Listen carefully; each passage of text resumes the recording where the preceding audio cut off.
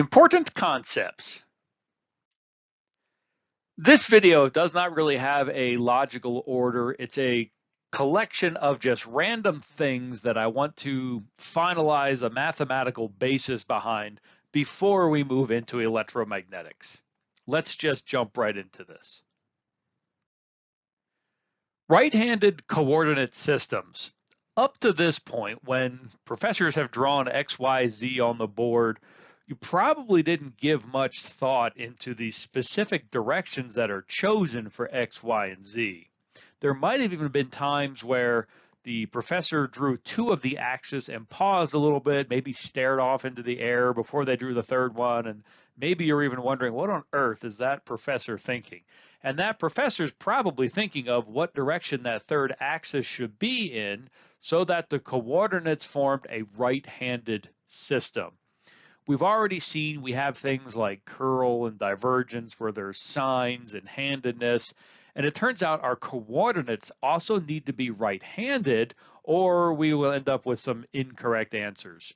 So in a right-handed system, we think of it this way. Think of the x direction, cross product with the y direction has to point in the z direction.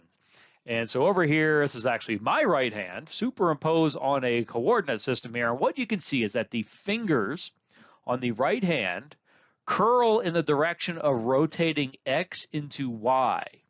And so when you curl the fingers on your right hand that way, the thumb on your right hand points in the Z direction. And so if we get this wrong, we'll end up with minus signs where we don't want them and missing minus signs where we actually want them. Okay, quick example. Here's a coordinate system. Is that a right-handed system? That is not a right-handed system. If we curl the fingers from X to Y, where X rotates into Y, what we'll end up seeing is that the thumb points in the opposite direction than Z is pointing in. My thumb in this case would be pointing downward. So this would be a left-handed system and not proper for electromagnetics. The convention is right-handed system.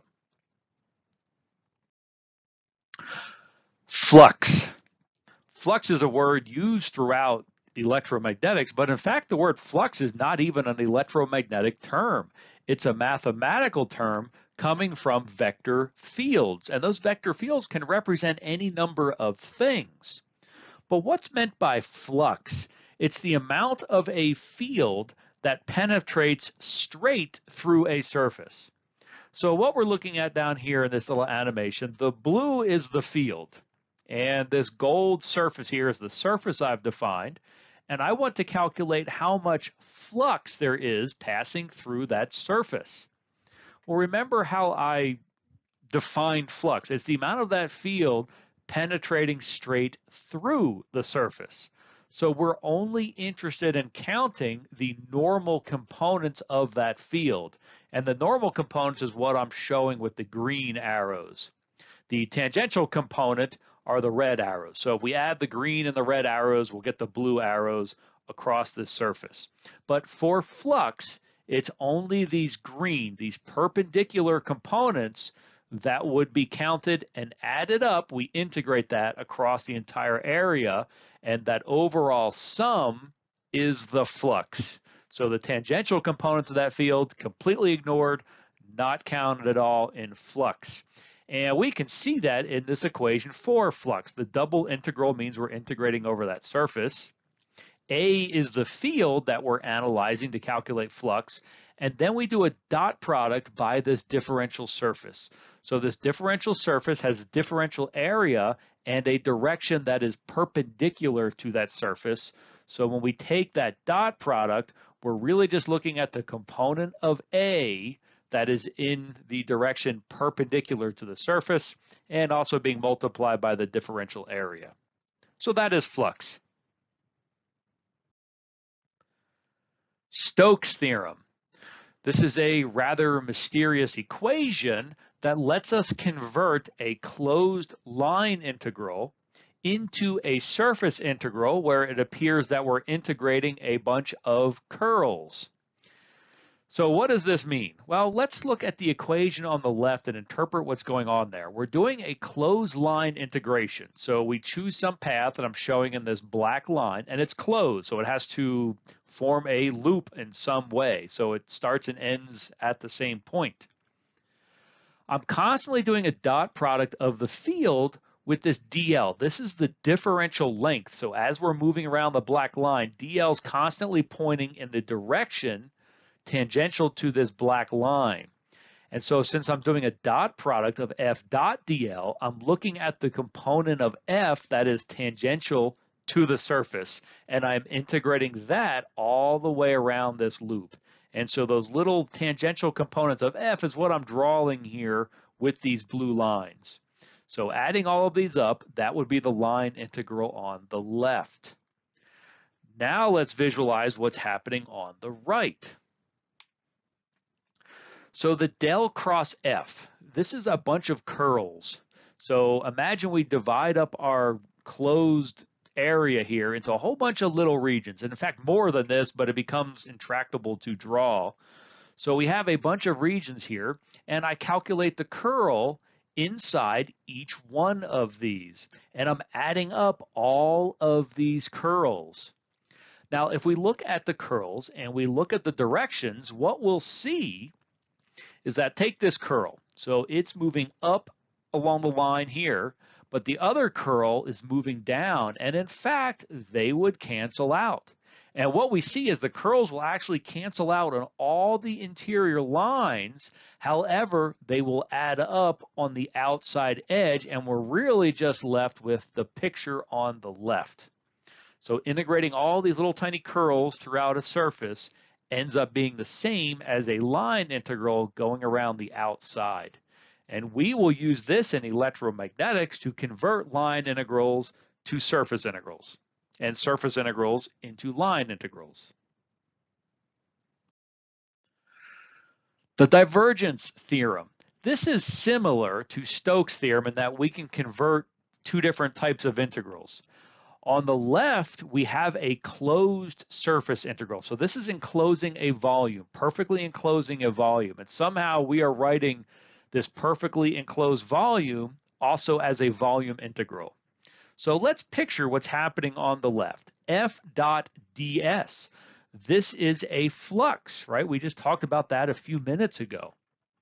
And so we are looking at the components of F that are poking straight out of this surface. We're ignoring any tangential components and we're adding all of these up around the outside. Now let's take a look at what's going on on the right. Here we're doing a volume integration and we're breaking our total volume up into little pieces of volume and I'm drawing larger pieces of volume just so we can visualize what's happening here. Well, inside each one of those, we're looking at the divergence of the field. So I'm showing a point here and the field diverging from it. And so we add up all of these different divergences. Again, let's compare these two things and see what's happening. We have the field diverging through this surface right here on the left, the field on the right is also diverging from right to left through this surface, and these two end up canceling. And in fact, the effect is all of these interior interfaces end up canceling because there's just as much field going one way through it than there is the other. And so the only thing we're left with really are these components that are punching straight through the outer part of the surface. And that's exactly what we had on the left. So we can convert a closed surface integral into a volume integral. That is called the divergence theorem. Here is a very interesting identity from vector calculus, and this will arise when we get to electrostatics. But forget that this has anything to do with electromagnetics right now. Just look at this as a vector calculus identity. And let's start with the gradient here. So f will be any scalar function, and we're calculating the gradient of it. And what it says is the curl of the gradient of any scalar function has to always be zero. Now, why on earth is that? Well, let's think about it. Let's start first with the gradient. The gradient of a scalar function gives a vector function. And that vector function is pointing in the direction of quickest increase of that scalar function f. So the magnitude will be the slope of f and the direction is uphill. So imagine f being elevation. Then the gradient points uphill and in the steepest possible direction. So this gradient always has to be pointing uphill. What this identity says is then the curl of that gradient always has to be zero. So why is that? Well, let's pretend it's not zero and see if that makes sense. So if the curl of something is not zero, that means that something, that vector something has curl, which means it's circulating about some axis, which then means it's forming loops. So if the curl of something is not zero, then that vector function has to be forming loops. So how can we have something that's always pointing towards increasing values, yet also forming loops? How can that happen? Well, in fact, it can't, and that's why this vector identity is always zero. So there was a famous artist, Escher, who actually drew a case where something is always increasing and yet forming loops. And of course, it's an impossible thing. Escher was a famous artist because he drew these really interesting optical illusions where, in this case, it looks like somebody's always stepping up on stairs, and yet somehow still it wraps on to itself. So this is impossible, and I think this is probably the best illustration I can come up with of why this vector identity has to be true. We can't be always increasing and yet form a continuous loop. So the curl has to be zero because it's impossible to do that. Product rule for divergence. Here is another vector identity that comes up in electromagnetics that appears strange. And here we're talking about the divergence of the product of a scalar function times a vector function. So this product gives us another vector function from which we're calculating the divergence. And this equals the scalar function times the divergence of A plus A dot product, the gradient of F. And how on earth does this equal what's on the left? So let's go through the math and figure this out.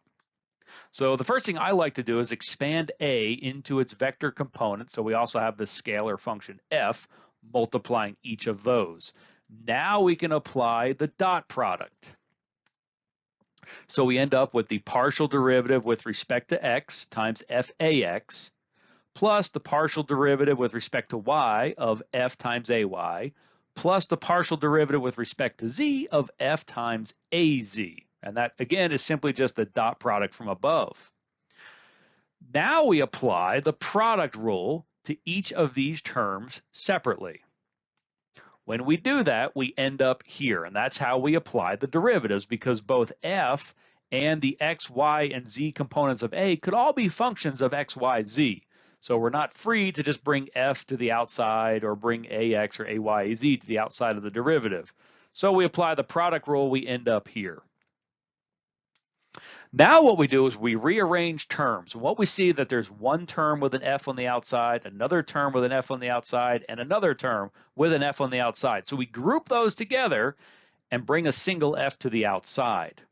And then we have all the other terms that have the vector component outside the derivative. We have one term here, one term here, one term here, and we can group these into a single parenthesis.